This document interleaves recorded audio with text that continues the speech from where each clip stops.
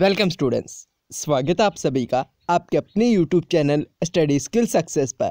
तो फ्रेंड्स, आज की इस वीडियो में हम एक बैड न्यूज़ के बारे में बात करने वाले हैं। बैड न्यूज़ क्या है, उसके बारे में जानने के लिए आपको वीडियो को पूरा देखना होगा।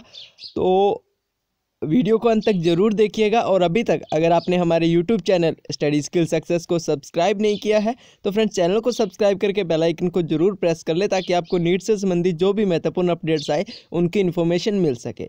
और एक और बात मैं फ्रेंड्स आप सभी को बताना चाहता हूँ कि मैंने जो मेडिकल के लिए स्कॉलरशिप्स होती हैं, उनकी चार वीडियो ऑलरेडी अपलोड कर दी है और एक वीडियो रात कल रात ही अपलोड की है। तो उस वीडियो के लिए आप चैनल की प्लेलिस्ट में जाके आपको मेडिकल स्कॉलरशिप से रिलेटेड एक प्लेलिस्ट मिलेगी। वहाँ पे उन वीडियोस जो चारों वीडियोस है, उनको देख सकते हैं। तो वो अच्छी स्कॉलरशिप आपके मेडिकल के क्षेत्र में एक अच्छी स्कॉलरशिप उसके ज़रिए पा सकते हैं। तो वो वीडियोस अगर अगर आपने नहीं देखी है तो एक बार उस वीडियो को ज़रूर देखें। ठीक है, बात कर लेते हैं आज की इस न्यूज़ पर। तो फ्रेंड्स आप सभी को पता है कि मेडिकल की जो एक एक सीट है वो मोस्ट इंपॉर्टेंट है। अब मोस्ट इंपॉर्टेंट क्यों है? क्योंकि आप जितने भी स्टूडेंट्स हैं, आप, लेकिन आपको सिर्फ़ चाहिए एक सीट ऐसे में अगर मेडिकल की सीट्स में कुछ कमी होती है तो नुकसान आपको ही, आप में से किन स्टूडेंट्स को ही भुगतना पड़ेगा। तो ये बैड न्यूज़ क्या है? ये इसी को लेकर है सीट्स डिक्रीज़ को लेकर, ठीक है? तो बात करते हैं इस बैड न्यूज़ पर। पूरा का पूरा आर्टिकल है तो उसको लेकर बात करते हैं। झांसी का आर्टिकल है। जिसमें क्या बोला गया है कि महारानी लक्ष्मीबाई मेडिकल कॉलेज में एमबीबीएस की 50 सीटों की मान्यता पर खतरा मंडराने लगा है। सर्जरी, रेडियो डायग्नोसिस, त्वचा रोग, एनाटॉमी, फिजियोलॉजी, बायोकेमिस्ट्री समेत कई विभागों को मिलाकर लगभग 40 फ़ीसदी फैकल्टी के पद खाली हो गए हैं और अगले मार्च के प्रथम सप्ताह में जो स्वास्थ्य मंत्रालय है, उनको फैकल्टी की रिपोर्ट भेजी जानी है। ऐसे में खाली पदों की सूची देखकर एम पचास सीटों की मान्यता रद्द कर सकती है। ठीक है। आगे क्या बोला गया है कि मेडिकल कॉलेज में पिछले साल ही एमबीबीएस की सीटें सौ से बढ़कर डेढ़ सौ की गई थी। मेडिकल काउंसिल ऑफ़ इंडिया यानी कि एमसीए ने फैकल्टी के पदों की स्थिति को देखते हुए बिना निरीक्षण किए ही पचास सीटों को बढ़ा दिया था।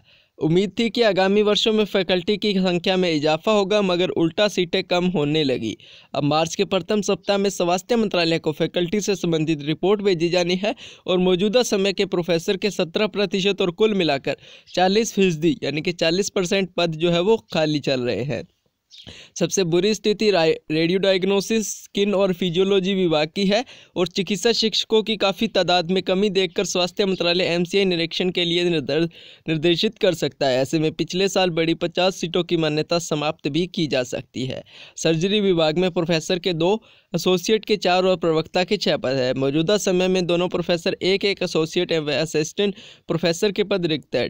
रेडियो डायग्नोसिस विभाग में प्रोफेसर के एक एसोसिएट के दो असिस्टेंट के तीन पद सुरजित हैं।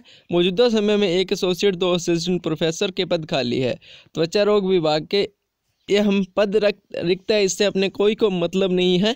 अपने सिर्फ़ मतलब है मेडिकल की सीट से रिलेटेड तो फ्रेंड्स आपकी मेडिकल की सीट्स को खतरा हो सकता है पचास सीट्स को। कौन सा कॉलेज है? तो ये जो कॉलेज है, उसका नाम है महारानी लक्ष्मीबाई मेडिकल कॉलेज पचास सीटों को देखिए, आपका खतरा क्यों है? क्योंकि पिछले जो पीछे इसकी मेडिकल कॉलेजेस की सीटें थी, वो सौ थी और इनको सौ से बढ़ाकर डेढ़ सौ किया गया था। लेकिन एमसीआई का एक रूल है कि जब भी सीटों को बढ़ाया जाता है तो उसकी फैकल्टी को चेक किया जाता है। लेकिन इस मेडिकल कॉलेज की फैकल्टी को बिना चेक किए ही इसमें पचास सीटें बढ़ा दी और वो पचास सीटें आपके इस 2019 के सेशन में इंक्लूड भी कर ली गई। लेकिन अब क्या है कि इसकी फैकल्टी में दिन ब दिन कमी होने जा रही कमी हो रही है और एम ने रिपोर्ट मांगी है इसकी फैकल्टी की। नेक्स्ट वीक तो जैसे ही नेक्स्ट वीक ये अपनी फैकल्टीज़ की रिपोर्ट देगा तो एमसी अपना निरीक्षण करेगा। निरीक्षण करने पर फैकल्टीज़ की कमी को देखते हुए इसकी पचास सीटें जो है वो वापस ली जा सकती है। अभी ली जा सकती है, ली गई नहीं है। अगर ये पचास सीटें कम होती है तो इससे आपको काफ़ी ज़्यादा नुकसान हो सकता है। तो ये थोड़ी बैड न्यूज़ थी। उम्मीद करता हूँ आपको वीडियो पसंद आया होगा। तो फ्रेंड्स, अगर वीडियो पसंद आए तो वीडियो को लाइक कीजिएगा और ज़्यादा से ज़्यादा अपने दोस्तों तक शेयर ज़रूर कीजिएगा। और अभी चैनल को सब्सक्राइब नहीं किया तो यार चैनल को सब्सक्राइब करके बेल आइकन को ज़रूर प्रेस कर ले। और फ्रेंड्स स्कॉलरशिप से रिलेटेड वो वीडियोज़ देखना ना भूलें। तो मिलते हैं फ्रेंड्स नेक्स्ट वीडियो में एक अदर इंपॉर्टेंट अपडेट के साथ। तब तक के लिए good luck and have a nice day